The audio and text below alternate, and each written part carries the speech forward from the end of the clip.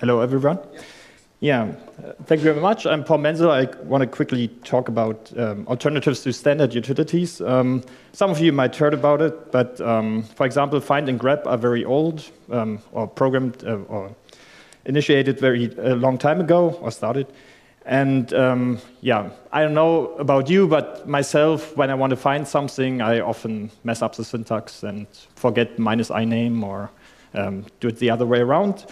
And yeah, so Rust came along, and a lot of people took um, this as a chance to re-implement certain utilities. And um, I just want to quickly mention those, and you might want to check them out. Um, so yeah, for grep, there's for example ripgrep. Um, yeah, um, often it's already packaged in your distribution, so it's easily to be installed, or you can build it yourself. So then for find, there's the alternative fd. Um, so the syntax is a little bit different. You use it like um, with grep. So fd find whatever your search term is and then the path.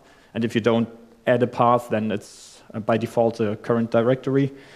And um, yeah, that's uh, pretty cool. And I think it's all, there are some benchmarks that it's also faster in some ways and it um, uses some Rust um, regular um, expression library, which is also quite optimized.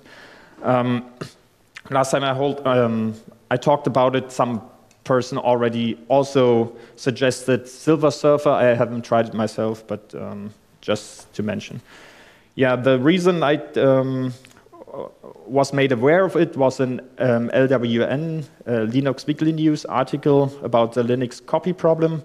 And there they mentioned XCP, which also uses um, some yeah, system call copy file range, um, which is also quite nice. For example, if you copy files on a um, between two NFS directories, directories which are on the same server, it will just copy it on the server and don't will won't do it over the network.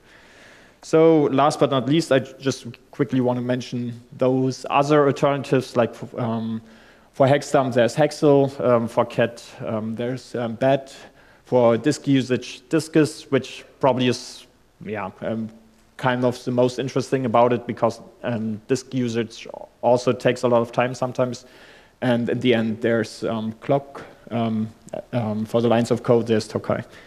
And since I have uh, two minutes left, I just wanted to quickly mention a different program.